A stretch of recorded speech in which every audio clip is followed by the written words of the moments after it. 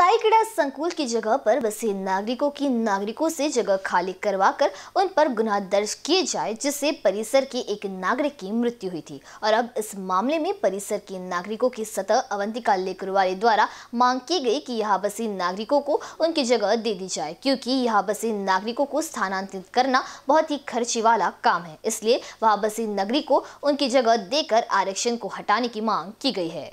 साई क्रीड़ा संकुल की जगह पर बसे नागरिकों को 24 घंटों के अंदर जगह खाली करवाकर गुनाह दर्ज करना है। यह खबर सुनते ही गिरीश शर्मा इनकी सदमे से मृत्यु हुई, जिसके बाद उनकी डेड बॉडी मनपा में लाई गई। फिर भी न महापौर और न ही मनपा आयुक्त मिलने आए, जिसके बाद इस परिसर के नागरिकों पर गुनाह दर्ज कर थाने एक दिन बंद रखा गया, जिसके बाद सूचना पत्र देकर इन्हें छोड़ा गया। फिर महापौर का घेराव कर उसी विषय पर बातचीत की तो महापौर बोले की लेआउट लेआउट मालक पर गुनाह दर्ज कर कार्रवाई होनी चाहिए और वहाँ बसे नागरिकों को अन्य जगह देकर उन्हें वहाँ बसाया जाएगा। लेकिन यहाँ के नागरिकों की मांग है कि एक रुपए स्क्वायर फीट से जगह देने की बजाय नागरिकों को उनकी जगह दे देनी चाहिए, ऐसा अवंतिका लेकुरवाले द्वारा कहा गया।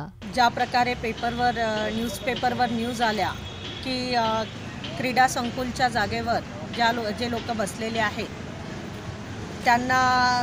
चोवीस तासाच्या आत खाली करून त्यांच्यावर गुन्हे दाखल करण्याविषयीचा जो विषय होता तो विषय वाचल्यानंतर त्या वस्तीमध्ये खळबळ उडाली आणि तो विषय गिरीश वर्मा यांना दाखवल्यानंतर ते घराला पाणी मारत असतानाच आपलं घर आता तुटणार जाणार आणि पुन्हा आपला संसार उघड्यावर येणार या धक्क्याने त्यांचं हृदयविकाराच्या धक्क्याने निधन झालं.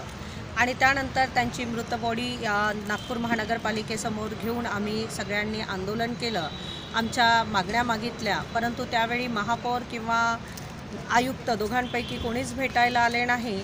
आणि नंतर काल प संध्याकाळपर्यंत पोलीस स्टेशनमध्ये सदर पोलीस स्टेशन आम आम्हा सगळ्यांना अटक होऊन सदर पोलीस स्टेशनमध्ये आम्ही होतो. काल संध्याकाळी सूचनापत्रावर सगळ्या लोकांना सोडण्यात आलं. आणि आज आम्ही पुन्हा त्याच विषयाला घेऊन महापौर दयाशंकर जी तिवारी घेराव के आमचा विषय लावून धरला. परिसर के नागरिकों की मांग मनपा द्वारा पूरी की जाती है या नहीं, ये तो अब आने वाले दिनों में ही पता चलेगा। कैमरा पर्सन राजकुमार मोड़ के साथ क्षितिजा देशमुख पीसी न्यूज़, नागपुर।